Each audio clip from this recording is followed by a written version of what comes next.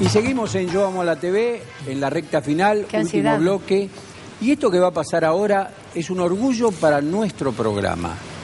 Porque a través de este programa, Gastón Pauls contractó, eh, contrató a un actor. No, es que- El señor Ricardo Bauler. Ah, maestro. Qué grande. Y lo nombramos. Maestro. ¿Estás bien? Qué Qué grande, maestro. Padrino. Qué lindo. Padrino, Qué. Toma asiento Ricardo. nomás, Ricardo ahí. Gracias. Bueno, la verdad que para lindo, mí ¿eh? le vine prometiendo a, a Gastón que iba a tener esta. Sí, él esta pensó que peque- vendría una cosa. Eh, sí. Es mucho más grosso de lo que Sí, yo creía. Yo quería guita, le dije, no será ¿Vos guita. crees, crees lo que Es muy dice? Que no. lo, Nah, bueno, con... Mira, eh, sí, que el programa me gusta, no lo tengo que decir porque ya lo dije antes de, Sí, sí. de conocerlo personalmente a él. Pero el placer de trabajar con él, porque este muchacho, eh, Raúl Aubel, ¿te acordás la época de Bebán? Nosotros decíamos que éramos jóvenes, hermosos, ricos y famosos. Este joven hermoso, rico, famoso y talentoso. Y generoso. generoso. Y, y no sabes qué placer trabajar con él. El equipo técnico, todo gente que está a tu disposición, va a disposición del programa, eh, eh, tratando bien al actor, a ver qué quieren. Y bueno, y me dio un gusto terrible. Y mm, pasó algo muy curioso. Yo sé que él contrata a los actores para hacer un programa, dos, a los actores invitados. Eh, con él hice el segundo programa y después hice el tercero, el séptimo, el, décimo- el noveno, el décimo primero. O sea, terminé haciendo seis programas. O sea que creo que le gustó lo que le hice. El trabajo que hice, porque la verdad, la verdad, estuve muy bien. Increíble. ¿Cómo me gustó ese programa? La verdad que sí. ¿Cómo me Ahora-? Ahora va a salir a la venta el baúl, el seguramente. baúl de Gastón, tuviste buen ojo realmente, porque es cierto lo que dice Ricardo, este, trabajó muy bien y tuvo el apoyo de toda gente que no es de su época, porque ustedes son muy jóvenes en relación a, lo- a la época que él vivió de oro, Yo ¿no? crecí viendo, viéndolo, ¿no? Digo, viendo las pelis, yo iba a ver los superagentes y, y, y quién no quería a esa edad ser tiburón. Digo, era como ah, langa, el ganaba minas, o sea. Y, y la verdad que cuando, cuando pensamos con, con Gabriel Lessi en desde dónde en- iba a entrar el personaje de Ricardo, Pensamos una, una cosa que era un delirio, que era un capítulo y dijimos, pero nos parecía muy gracioso. Cuando vino y grabó, además le pedíamos, no, Ricardo, acá probá esto, como... Sí. Y, y la casó al vuelo todas. Toque. Todas. Iba mandando, le pedíamos, por probá esto, no sé qué, y lo tiraba y, lo- y- y la pegaba en el blanco. O sea, y después nos divertimos tanto Claro. haciéndolo. ¿Sabes cómo se Que quisiste repetir. No, no podía parar. Se ríe. Porque no entendía demasiado bien. digo, pero esta boludez que se dice tanta- Nos poníamos. Aparte me pasó con él también, mirá que tengo años en esto, que me tentaba eh, grabando. Porque ensayábamos, y de repente me, me olvidaba y mandaba unos tonos. Y ¡ah! Y- perdón. y- cosa que no, normalmente no, no, no, no, lo hace.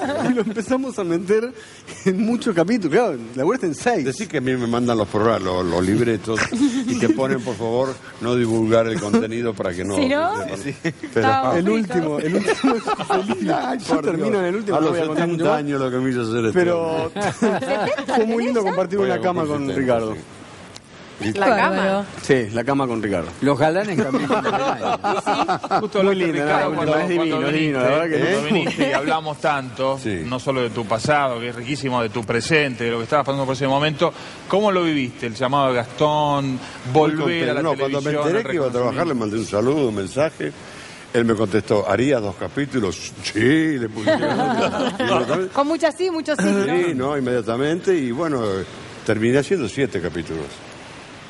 Y bueno, ¿Se viene un ter- Lindo. una tercera parte? Sí, sí, sí, sí. no me deja Sí. afuera, ¿no? O sea, hay una cosa que me pasa con, con el programa que es, la verdad que la primera temporada terminó y para mí terminaba. No, no había segunda temporada. No, no, no la imaginaba y no la vi hasta que varios meses después. De hecho, la primera temporada terminó en diciembre del 2008 Sí. y nosotros salimos al aire un año y medio después. Y es porque no lo encontraba, porque no, a mí no se me ocurría nada, a Gabriel tampoco, Nessi. Después apareció.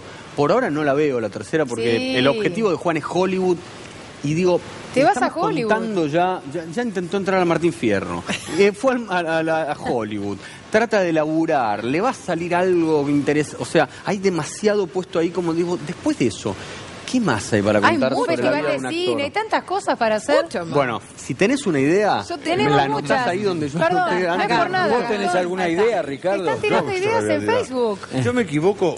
¿Cuántas veces se, in- se intentó hacer un programa basado en el medio del ambiente artístico? Nunca. Y nunca pasó nada. No. Nunca pasó nada.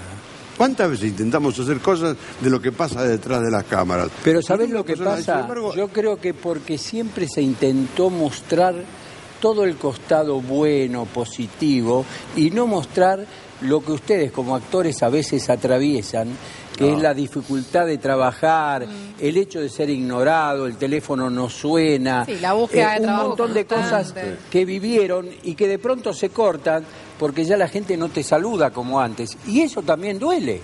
Y la claro. pucha. Claro, también en una época este, había que ser joven, hermoso, rico y famoso. Tuvieras o no tuvieras, siempre bien empilchadito porque... Pero lo que tiene de bueno eh, eh, es que a través de la risa dice cosas muy importantes. Porque Uf. la, de- la última escena que tenemos, los dos sentados en la cama... ¿eh? Sí, Perdón, claro. vestidos en la esto- cama. Esto es otra cosa que... ¿eh? Vestidos en la cama. Yo sí. Pues estás diciendo. ¡Ah, caramba!